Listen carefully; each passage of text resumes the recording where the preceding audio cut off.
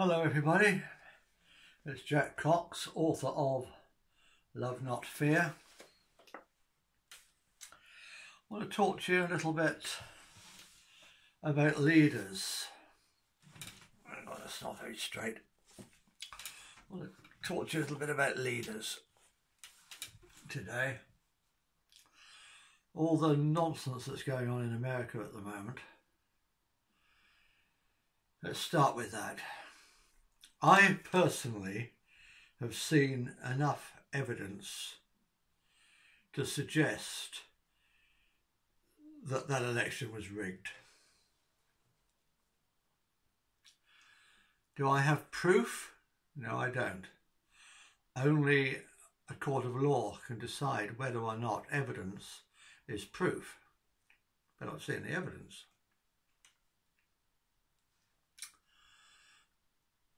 And have I been speaking out about it? Yes, a lot. Does that mean I'm a Trump supporter? No, it doesn't. I don't support any leader. We don't need leaders. The problem is that people have been used to looking outside of themselves for a saviour, whether it's in religion or in politics.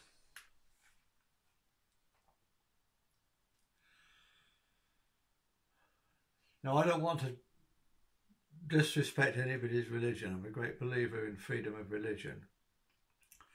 But let's just take as an example the story of Jesus.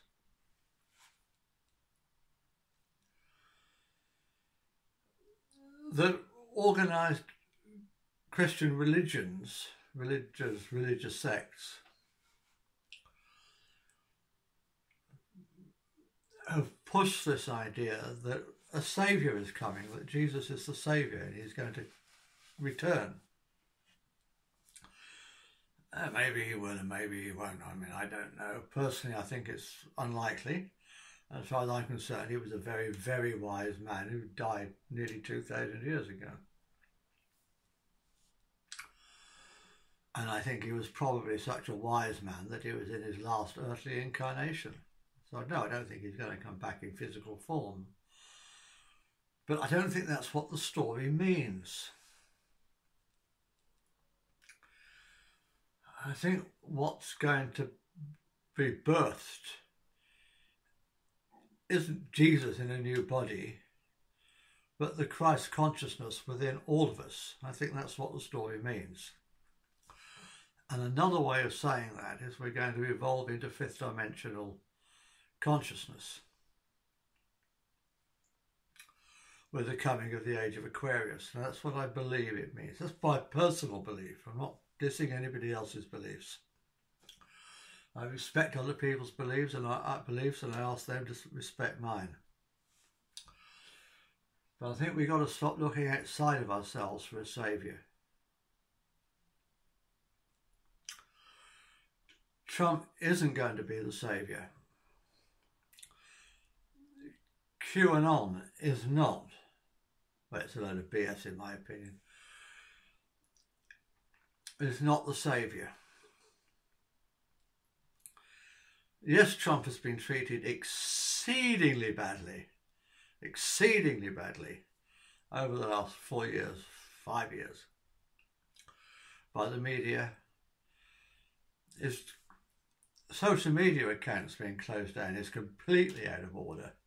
The whole censorship that we're living through at the moment is completely out of order. Should never ever be allowed to happen.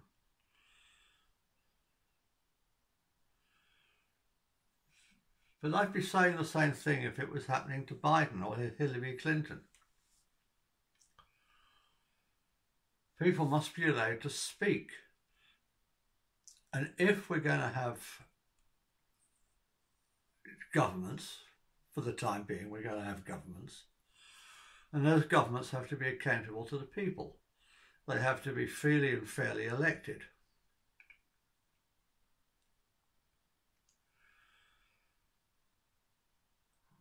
And they must be left alone to do their work.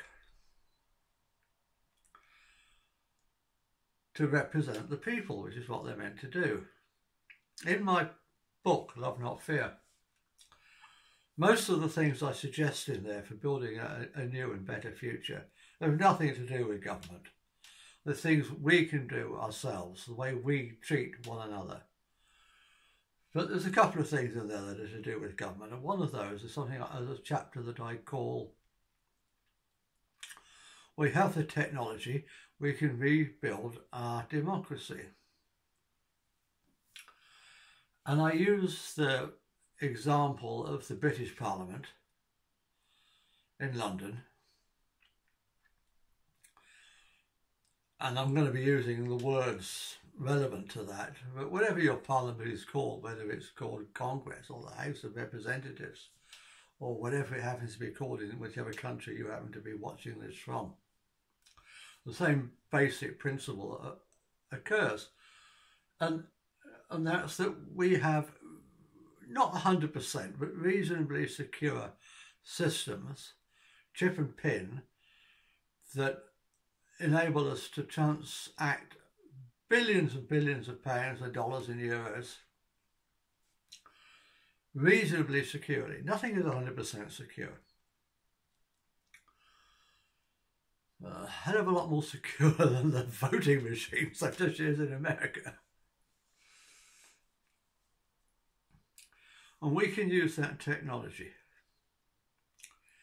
Now take a member of parliament, or whatever the equivalent, equivalent is in your country. Say that member of parliament represents a constituency of, I don't know, 20,000 people. Just as a ballpark figure, I, I don't know then in Parliament, at every vote in Parliament, that MP would be able to cast 20,000 votes. Okay? And if another MP represented a constituency of 30,000 people, then that MP would be able to cast 30,000 votes. But we'd also have a chip and pin, all of us, each one of us, you and me, so we can log into our computers or our smartphones, or maybe there'd be ATM type machines for doing it in public places for people who don't have computers and smartphones. And card readers. And in every single vote in Parliament, in the House, you and me and Ethel on the till would be able to cast our own vote. So take MP John Smith, MP, uh, John Smith MP, I don't know, who has this 20,000 votes. And he's going to Parliament to speak on behalf of his constituencies, his constituents, and to vote for them. So the software would calculate how many people in his constituency voted themselves. Say a thousand voted for themselves. So his vote in that particular um, debate would be 19,000 because 1,000 have already voted for themselves. Yeah?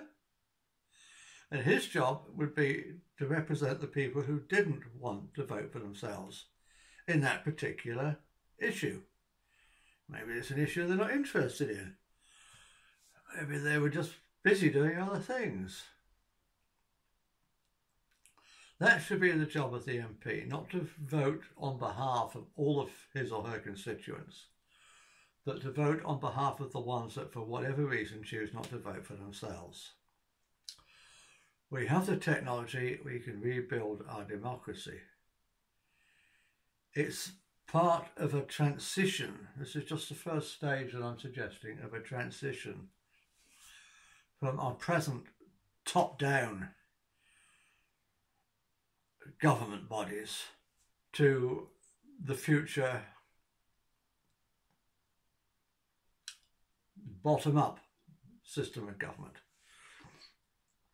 And I think when we all evolve to fifth dimensional consciousness and we have these bottom up governments, we won't even be calling them governments, we'll probably have another word for it because there won't be anything like the governments we have today. Now, I'm talking about maybe 100 and 150 years, maybe 200 years in the future. Maybe. But maybe we could do it now. If we have the will, you and me, and Ethel on the till, if we have the, the will, we can make it happen now. And the other thing I want to talk to you today about is censorship. Because uh, apart from the I've got to be so careful with my words here because the censorship is closing down social media accounts. Closing down. I could be closed down off um, YouTube any any time if I let the wrong word come out of my mouth. So I'm going to do what they did on what Peter did on um, Hearts of Oak the other day. I'm going to call it the five letter F word. but if I mention the five letter F word, on here, I could be closed down. Now that is wrong. That is so bloody wrong. And we must not allow it to continue.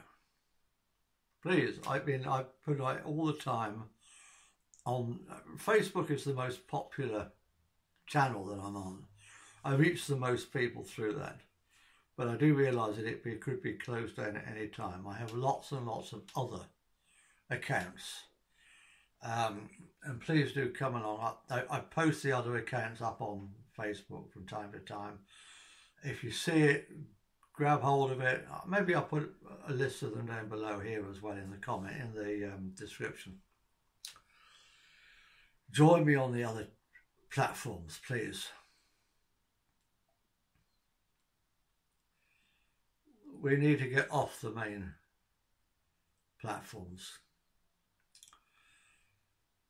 Some people say we're hurtling towards fascism, and some people say we're hurtling towards communism, and I think we're realizing more and more now what I wrote two, three years ago in my book that communism and capital uh, and uh, communism and fascism are just two different faces of totalitarianism. They're certainly not opposites. And the straight line model of politics that puts communism at one end and fascism at the other end is just plain BS. They belong right together, right at one, one end together, touching, touching. I put them both on the far left. So what am I going to put on the far right? Freedom. Pure anarchy in its correct usage of that word. Freedom.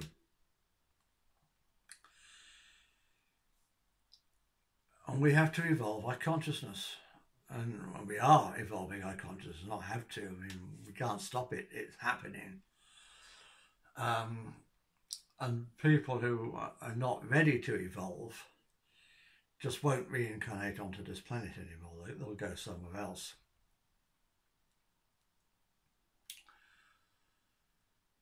And as we get into fifth dimensional consciousness, we won't have to have governments telling us not to kill each other, not to rape each other, not to interfere with little kids, not to steal from one another, because it would never enter our heads to do such a crazy thing. So we don't need to be told not to. And that's happening, it's happening quickly. So we don't need the top down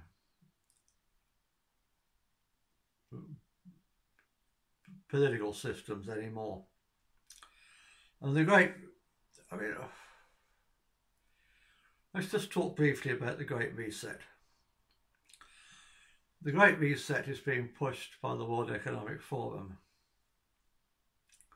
that represents the thousand biggest multinational corporations the, on the planet.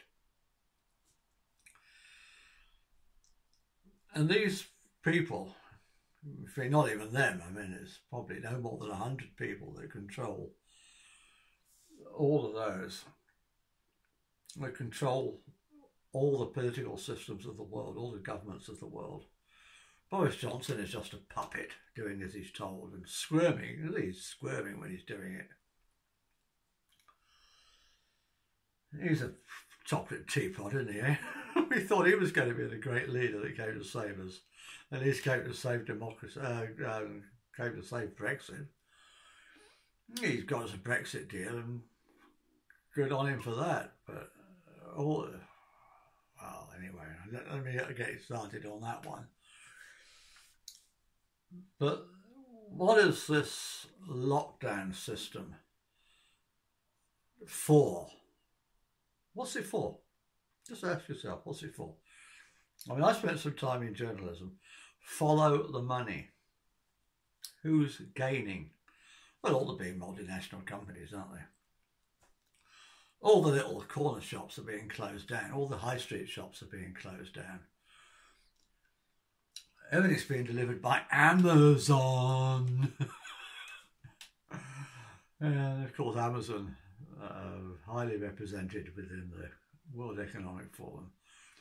They already control everything. They just want to be able to come out and admit that they control everything.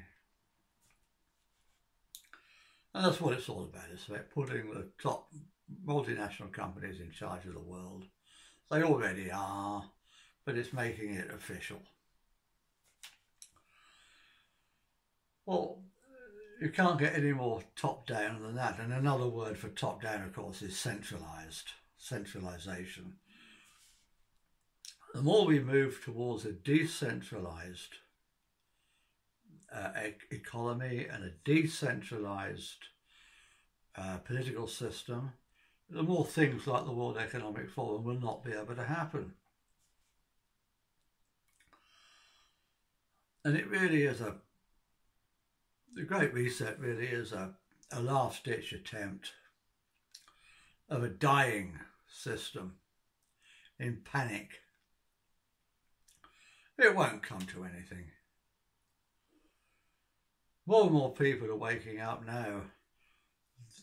The lockdowns have transferred billions and billions and billions of pounds and dollars and euros into Amazon and the other big companies. Yes, sure but it's also served to wake a lot of people up. And we ain't standing for it. Some people are saying that currency is going to go digital, and I think it probably be well. it'll be digital along um, a Chinese social credit system whereby you don't have access to your money if you're not being a good boy or a good girl and doing what the government tell you to do, and the deep state tell you to do through the government. It's the deep state that control everything, the government, the media, everything. And the more we rebel, uh, we won't be able to spend our own money anymore.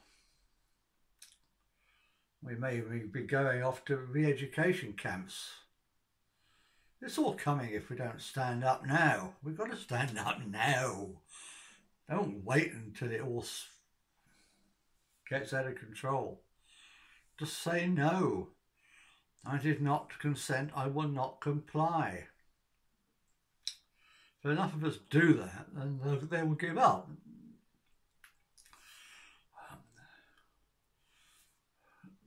So an alternative economy, some people are putting forward this alternative um, currency of Bitcoin, which is probably good.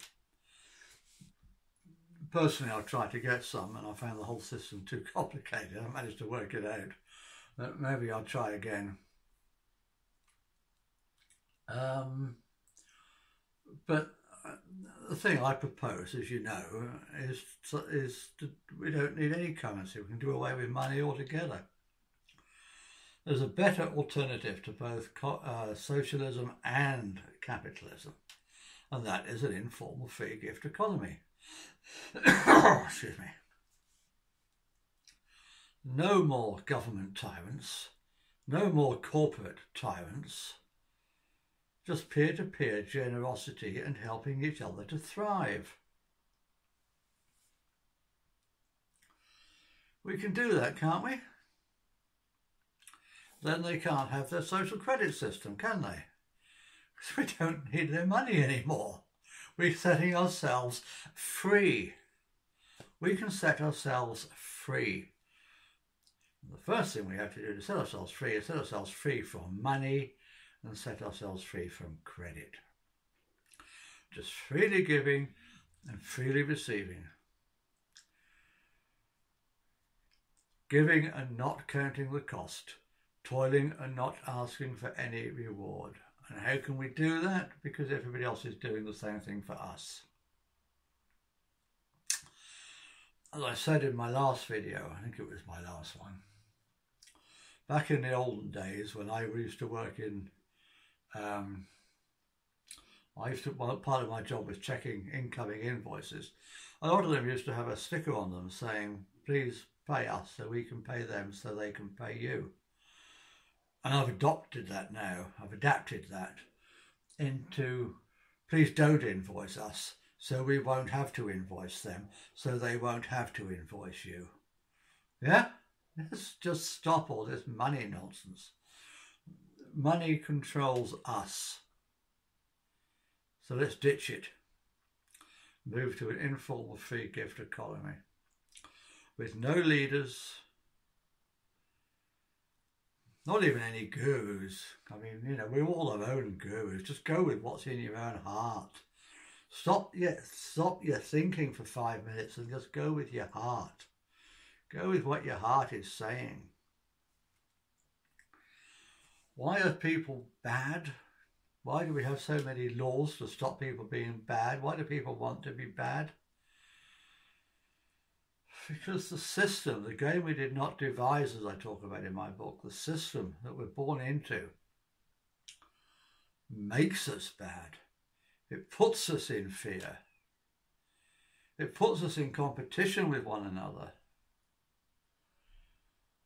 It's this Piscean, big fish eat little fish eat little fish world that's passing away. Let's just help each other to thrive. Anyway, that's it for today. I love you all. Namaste.